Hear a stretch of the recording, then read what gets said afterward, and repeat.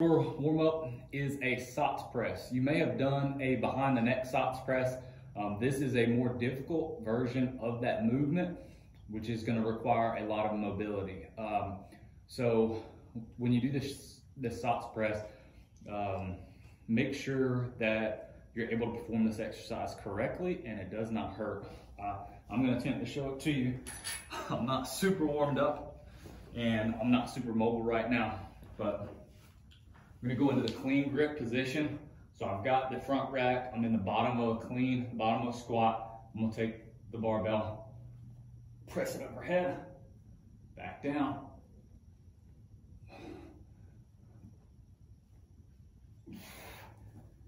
And that is a SOTS press from the clean grip position. Now, you can use a chair or a box to sit on and work that, um, work that press from the front rack until you're comfortable doing it from a full squat.